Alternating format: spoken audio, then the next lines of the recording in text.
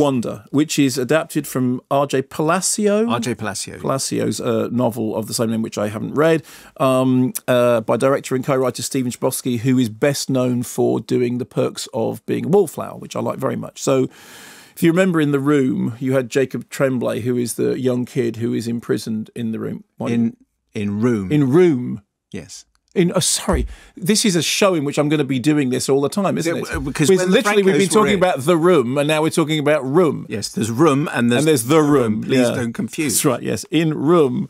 You're tearing me apart, Lisa. In room. Jacob Tremblay, thank you very much, uh, plays uh, the the young son who is imprisoned with his mother, and it's a brilliant performance.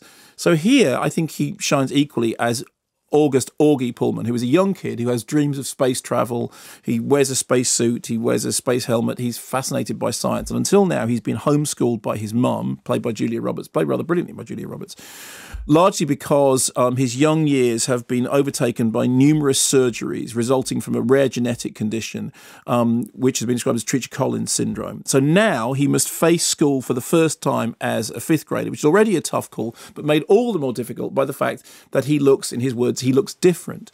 And uh, so at the very beginning, we're introduced to his parents taking him to the school gates for the first time and sending him off into a world which they know is going to be difficult, which they know is going to be potentially hostile, and hoping for the best. Here's a clip. Now, I gotta stop here because past this point is a no dad zone, and you don't want to walk up with your parents because it's not cool. But you're cool. I know I am, but technically most dads aren't, so. Neither are these helmets. Hey, two rules. First, only raise your hand once a class, no matter how many answers you know, except for science. Crush them. Check. Second, you're gonna feel like you're all alone, Augie, but you're not. Check. Should we lose this? Come on. Costumes are for Halloween. Prepare for blast off.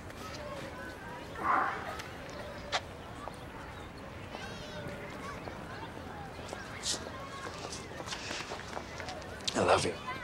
Love you too. Owen Wilson and Jacob Tremblay from Room, not The Room. Thank you. Yeah, in Wonder. I'm so sorry, and I will carry on doing that. So we then see that there's this moment when Julia this is in the trailer, in which Julia Roberts says, Dear God, please let them be nice to him. And he goes into school, and inevitably, some are nice and some aren't nice. And so he experiences bullying and befriending in kind of equal measure, but he starts to make his way in the world. And at the beginning, the film starts off being about how um, you know how Augie deals with all these difficult situations that he's facing, and he knows that people are looking at him and looking at him. He's different, and you know, sniggering behind his back. Some people are scared of him. Other people, you know, befriend him.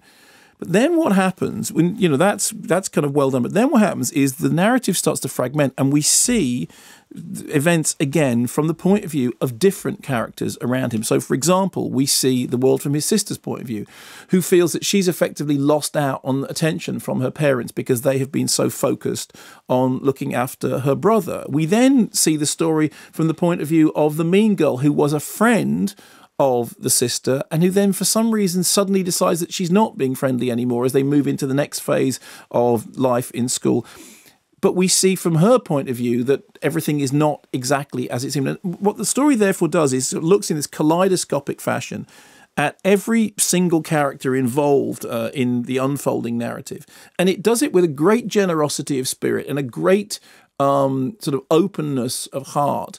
And it's very, very careful to never reduce any of the characters to a sort of to a single trait. So even even the bullying characters, we start to see the world from their point of view. And we start to see how all these different stories are intertwining.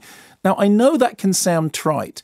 And it can sound like you know like maybe the you know the, the film is doing that sort of feel good schmaltzy thing. I think the thing that's really admirable about it is it's a film that plays to your heartstrings. It wants to move you. It wants to sort of touch you emotionally, and it did. I laughed and I cried, and I cried my body weight in tears. It because the film works. The film does what it sets out to do. It sets out to emotionally engage you, but it also um, manages to be more complex than it may look like being from the outside, and we were talking before about the idea of films having a decency to them, films being about you know the, the decency of, of, of the spirit, actually actually having a proper you know humane spirit to them, and it's a very difficult thing to get right on film because films can trip so easily into what Jonathan we were talking there earlier on about inappropriate schmaltz and inappropriate sentimentality. In the case of this, I really thought it didn't. P- partly, I think, because the performances are really good. Julia Roberts and Owen Wilson are great as the parents. Uh, Izabela Vidovic as uh, Via Olivia, the uh, Augie's sister, is is really terrific. Jacob Tremblay is an a really astonishing screen presence. I mean, you know, this young kid who I, you know, I hadn't seen before Room and was so brilliant in Room, and here, um, you know, plays the role really well and really you, you kind of get the sense of his emotional. I hate to use that phrase, emotional journey. And having gone into it, um, you know, not knowing the story, having just seen the trailers, thinking, you know, that perhaps what we were going to get was, you know, was, was was particularly sentimental. It wasn't like that at all. I was, I thought it was made with and I, I say this I genuine. I thought it was made with real heart and uh, a really delicate touch. I thought it was really funny when it wanted to be, and there's many moments of laugh out loud humour. Some great sort of thumbnail sketches, and Mandy Patinkin as the uh, very avuncular school principal. Mandy Patinkin, yeah, you'll kill my father. Prepare to die, um, and he and he's he's really good in it and it's you know it's a number of performers of a wide range of ages, all of whom are given the same. They're imbued with the same sense of importance and the same sense of that what's happening in their world is important because it is what's happening to them. I was very touched and very moved. I laughed and I cried, and that was exactly what the film set out to do, and it did it.